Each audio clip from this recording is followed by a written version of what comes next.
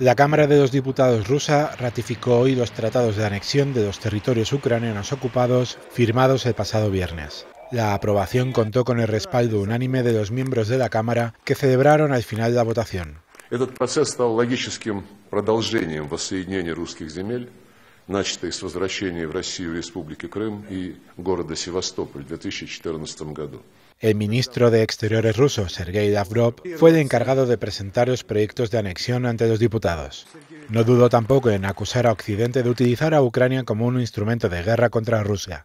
Так же, как в свое время Гитлер поставил под ружье большинство стран Европы для нападения на Советский Союз. Los tratados aprobados ponen nuevas reglas a los habitantes de estas regiones, el rublo como moneda nacional y que el idioma oficial sea el ruso, aunque también se permitirá hablar en ucraniano.